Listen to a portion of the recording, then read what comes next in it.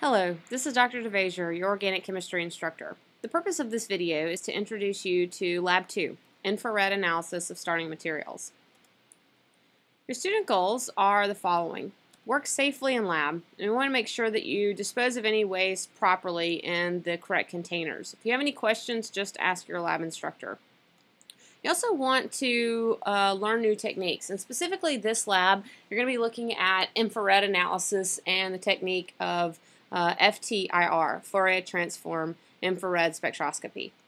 And so ultimately what you want to do in this lab is to uh, obtain quality spectra for your starting materials.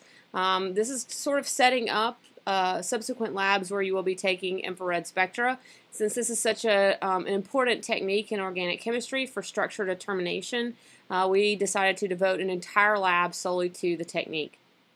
We want you to think about this experiment. Think about the nature of infrared spectroscopy.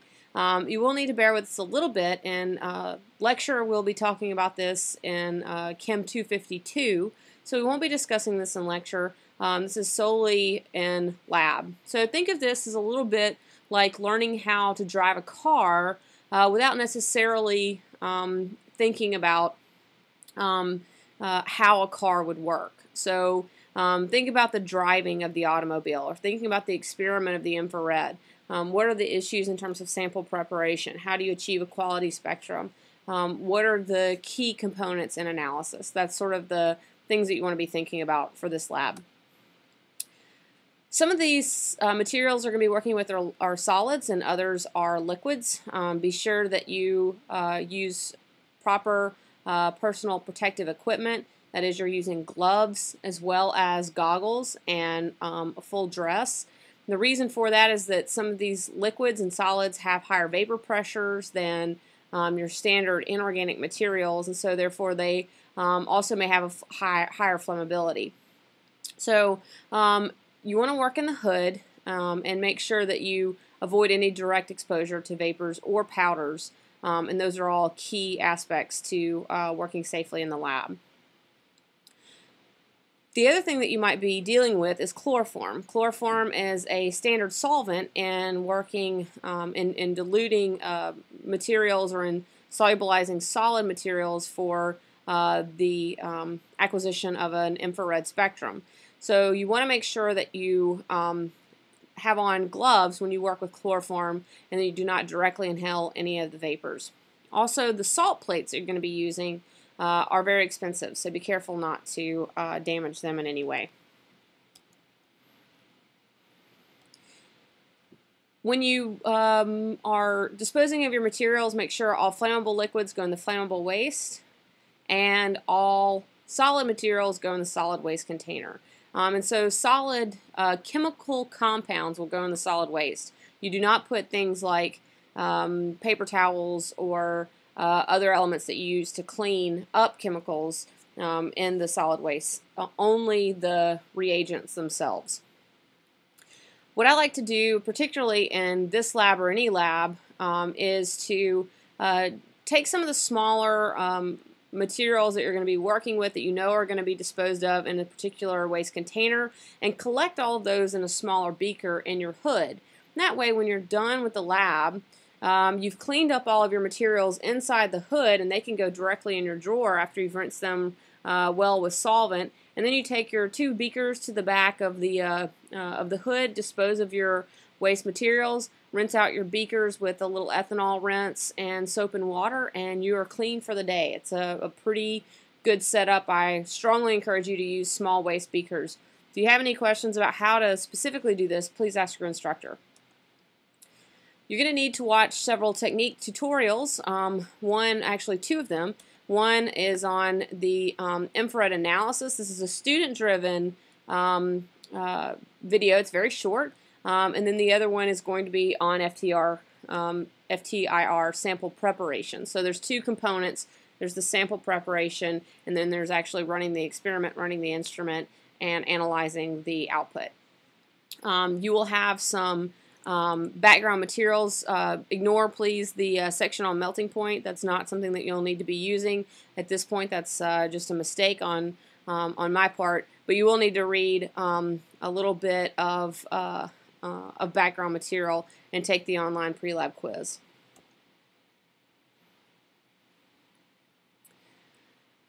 So in this case, uh, the lab, as, as I said earlier, is focused solely on technique. So you want to make sure that you have two things um, uh, pretty pretty well um, ironed out in the laboratory. You want to make sure that you have the sample name clearly indicated on your spectra. Um, that's very important. So as soon as you take your spectrum, as soon as you get the printout, write the sample name directly on that piece of paper. It's it's very important that you keep up with that information. I also encourage you to make at least one, if not two copies of your spectra. You can paste one copy in your notebook for, um, for accurate record keeping, and then you can keep the other two for your report. Um, if you make two copies, then you'll have um, uh, an extra copy just in case. There'll be three individual spectra, the original and the two copies. Um, I would keep the original for the report um, simply because it will be in color. Um, um and uh, that might be helpful. Since this lab does focus, uh, since this lab focuses on technique, uh, you want to make sure that you watch the um, technique tutorial videos and pay very close attention to your lab instructor. Um, you may have an alternative schedule for this lab, that is, uh, you might not come in um, directly at the start of lab. Because we only have two instruments in the lab, um, often, particularly with this type of acquisition, we get a little bit of a bottleneck. So we might have the lab broken up into two segments. Um, one where half the lab shows up, half the, the um, individuals, half of these students show up and um, acquire spectra, and then the other half show up at a later time during the lab session. So um, be sure and check with your uh, lab instructor. Um, he or she should let you know prior to the day of lab. You want to make sure that you um, use the rubric as your title page and um, that you have signatures from both lab partners to receive full credit. This is very important. Otherwise, um, you do not see receive full credit um, if your if your signature is not on the lab report.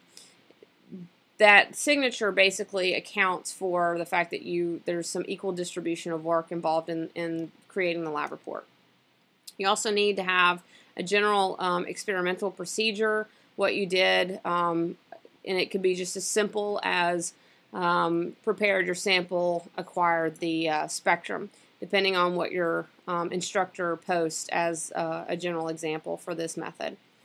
Um, you should also have a reasonable results section. Um, this might have key infrared um, uh, frequency values and wave numbers corresponding to the um, uh, functional group um, that you've assigned. So you need to have your assignment written out in a table. So it's not as simple as just scribbling on a piece of paper and handing it in. You will need to um, go ahead and, and, make a full analysis.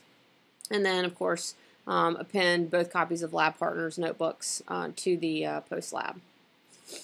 I want to thank um, Dr. Brandt um, and the other instructors, uh, Dr. Allison and Dr. Weatherman, uh, for their help in um, supplying the supplemental materials, um, Aldrich Chemical Company, and Journal of Organic Chemistry for um, some information that was used in this video presentation. And thank you for your attention. The rest of this video is additional information regarding the interpretation of an infrared spectrum. Um, this could be um, potentially useful um, it could also be a repeat for um, those of you that have instructors that want to provide um, additional um, information for infrared analysis.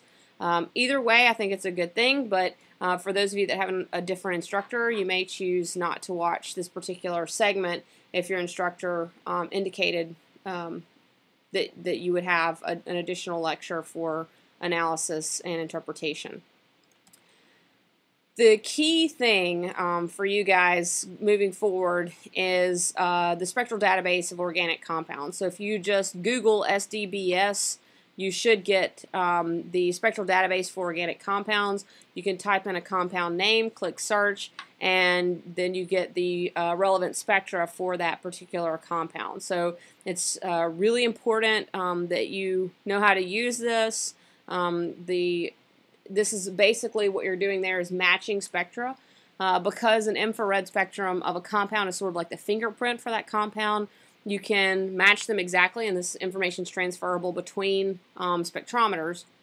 So you should be able to take a spectrometer um, uh, or a spectrum that was taken in Japan, and many of these were, and, and a spectrum that was taken here at Rose-Hulman and match them directly if you have uh, the same compound and the same purity. So it, it is a, a very useful um, resource uh, for that purpose. So you can match compounds. Now, all that does is basically allow you to determine um, matching compounds. This is, has nothing to do with analysis. This is just um, a, a, basic um, um, interpretation. So this is this is a uh, an assignment of the correct compound to the actual spectra. This is not really analysis.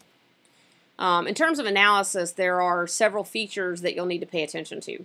Um, one is the shape of the peak. So there are a couple of terms that we use to describe the shape of the peak. That's narrow and broad. So you may have a, a narrow band or a broad band um, in terms of the shape of the peak. And, and these are also transferable between spectrometers um, as long as your sample is in the same phase, that is uh, liquid, solid, etc. Um, there are other terms um, that are used to describe the shape of a peak, and that is uh, singlet versus a doublet. So sometimes you'll see a, a peak has been split, um, and that's a that's another term that we can use. And then we have the intensity of the peak. So there's shape and intensity. And so intensity is either strong, medium, or weak bands. And we refer to them as bands typically. And um, um, that's a sort of a relic, a tradition from uh, gas phase spectra. Um, peaks are also used as well, so those those terms can be used interchangeably, band or peak, to describe the signature. I'll show you an example. So this is a spectrum of benzophenone. Um, you'll notice that the y-axis is percent transmittance. That is the standard for organic um, uh, compounds, and the um, I think I said y-axis is percent transmittance. The x-axis is wave numbers. Um, so it's in inverse centimeters. That's the um, uh, the unit uh, of frequency that we use to describe um, where in the electromagnetic spectrum, in this case particularly the infrared uh, region of the electromagnetic spectrum, the peaks reside. The Fourier transform um, comes about because the react of the uh, the experiment is taken in real time, so you get a, a time domain dependence, and then the transform then converts it to the frequency domain, um, and so we get these nice resolved peaks um, that have their various intensity based on percent transmittance, um, and then um, at a very at a specific frequency and wave numbers. And there's just some examples of uh, terms that you would apply to these different peaks. So the one on the far left there you see is a weak apparent doublet. And we call it a parent doublet because it appears as though it's a doublet. It might just be two peaks where the shoulders are, um, the shoulders of the peaks are, are overlaid. Um, it's a weak peak because it doesn't have a very strong uh, um, um, signal in the infrared. You'll see the strong, sharp singlet um, there around 1700 wave numbers. This is a, a, very characteristic of a carbonyl. And so each one of these peaks correspond to a particular mode in, um, in the molecule. And so the molecule, when it's excited by infrared radiation, undergoes a series of transitions. And those transitions can be anything from a stretching, um, that is bond stretching between two atoms, or a bending mode, or a wobbling mode. So this can, the molecule basically does calisthenics, you know, molecular calisthenics exercises, right? And so it can roll around, it can walk from side to side, it can uh, stretch, and so all of these these motions um, in the molecular vibrations are picked up in the infrared spectrum, and that's what we analyze and each one of those are signature for a specific type of transition for a particular set of atoms. And we call the collection of atoms um, that are routinely observed in organic chemistry functional groups. Um, here's another example. This is benzoic acid. You'll notice now we have this broader peak. You see that's kind of hard to see. It looks like it's kind of split up into a bunch of smaller peaks, but in fact that's one larger peak um, that, that has other signatures overlaying on it. Um, there's our, our sharp, strong singlet there, right around 1700 wave numbers. That's another carbonyl. Uh, we call that a carbonyl stretch because it's it's a result of a stretching motion. Now, I'm going to go through and look at each of the different functional groups, that is, the, the groups that are uh, traditionally observed in organic chemistry. Um, and uh, look at some of those signatures. So the CH stretch uh, for an sp3 hybridized carbon, so this is, uh, we call those the alkyl groups, um, are observed right around 3,000 wave numbers. So you can see the CH stretch um, mode there. You can see also the bending modes are highlighted on this slide. Uh, I think the stretch is the one that we typically um, uh, want to analyze or interpret in an infrared spectrum. That allows us to uh, further make the justification for our assignment. And the assignment again is putting a name with a picture. That is, what is the name of this compound based on this infrared spectrum? That's the assignment.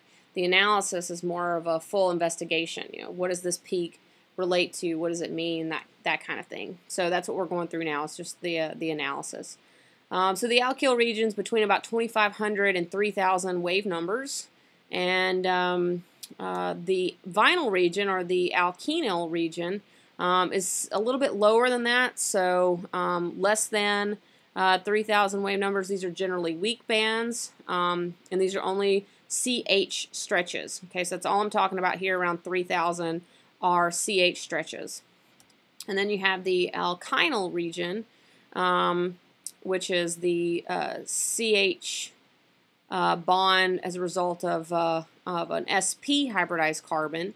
And so you'll see that's way on uh, further down, um, uh, greater than um, 3,000 wave numbers again, like the vinyl region.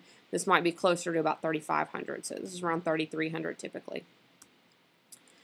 Um, there are other features that we can observe. So anytime you have a, a benzene ring, which is the um, uh, the the structure shown there in green. Um, so benzene rings have some characteristic absorptions uh, around 3,000 because they have CH bonds. And then they also have what are called overtones. And those overtones um, are observed right around 1500 in green on this slide. And then there are uh, some other signatures, um, uh, bending modes around um, 800 wave numbers. And so you can sort of see um, the bending mode at 800 in blue um, it's in a it's in the uh, uh, dotted orange color box on this slide. Um, those are actually pretty intense peaks, so um, they can be useful in interpretation. Alcohols um, are another functional group that um, occur, you'll observe uh, transitions around 3,000 wave numbers. These are a little bit higher, um, so between 3,200 and 3,500 wave numbers.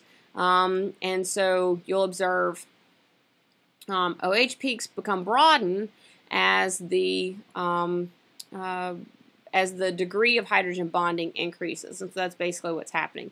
In dilute solutions, those become more narrow, and in the gas phase, they're extraordinarily narrow.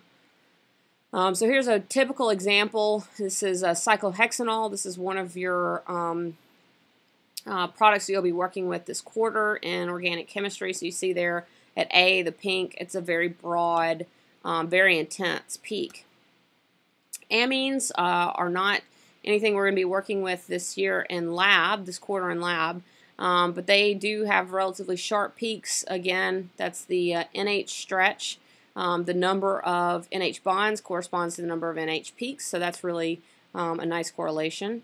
And probably the most useful group is the carbonyl group. Um, you'll see these signatures around, these are stretches around 1700 wave numbers. They're very strong, very narrow, very distinctive. Uh, so if you see there D, um, the uh, long peak, the sharp, uh, strong singlet there around 1700, that's your carbonyl stretching peak. And so that's a, that's a very useful um, signature.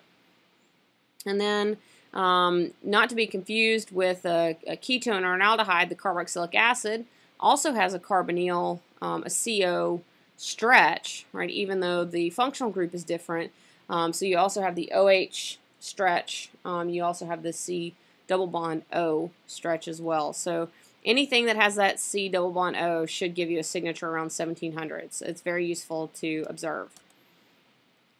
Um, you can uh, look at some other features. So the the position of that 1700 can move between 1650 and um, maybe even sometimes all the way up to 1800 wave numbers, uh, just uh, as a result of conjugation. It's basically um, a result of the um, various resonance forms of a um, molecule. Resonance is something we'll talk a lot about in lecture, so um, that should um, that should key in there for you. There are other functional groups that are very useful. There's the triple bond region, which uh, can be uh, very kind of kind of interesting for you to see, and and that's basically uh, there's not much there in the triple bond region on an infrared spectrum. So if you see something between um, about 2100 and about 2300, probably some type of triple bond. Might be some overtones, but um, these are uh, these are pretty um, unique signatures. Typically sharp, not very strong bands. Um, the fingerprint region is um, below 1500 wave numbers. This is typically not analyzed. Um, so we typically don't interpret that region of the spectrum um, in terms of uh, trying to pick out every individual band and transition because it's very, very complex. Um, we call this the fingerprint region because um, it is not only complex to interpret but does give you a particular signature for each individual molecule. There are a few things that we do look at. Um, aromatic modes, the CO stretch, the single bond stretch, and um, a few bending vibrations, and the classic walrus teeth of the uh, nitro compounds. So here's your nitro walrus teeth. You see there at C. Um, two big old sharp singlets there around 1500. Um, if you see those, you know that you have a, a compound with a nitro group. And um, the other one is a CO stretch, right? So it's typically, again, a very uh, strong band um, right around 900 or so wave numbers. So these are uh, um, typically, uh, sorry, not 900, I'm sorry, 1100 wave numbers, so between 13 and 1100 wave numbers. Very useful um, in terms of interpretation. Okay, so that's about it. Those are the uh, primary functional groups that you'll need to uh, observe or recognize in an infrared spectrum. You don't have to do this on your own. There's not going to be any test about analysis.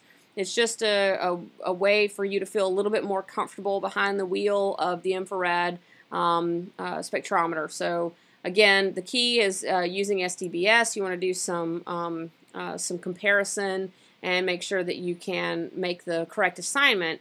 Uh, but then any interpretation that you have past that is is bonus.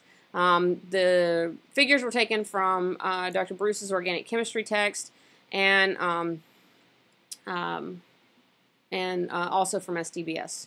Thank you very much for your attention and have fun and be safe in lab.